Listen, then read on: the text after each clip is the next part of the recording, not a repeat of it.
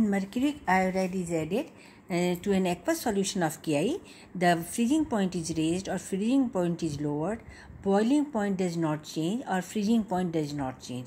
These four options are given to you. As we know that, that HgI2 when react with KI, um, it will combine with it and form a complex called K2HgI4.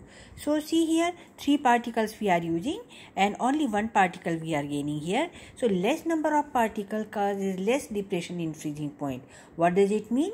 That here freezing point is raised because less depression so uh, freezing point will be more. Okay? So particles decrease due to complex formation. So freezing point raised uh, if boiling point is asked it will be uh, less particles so less elevation. Clear to you? Thank you for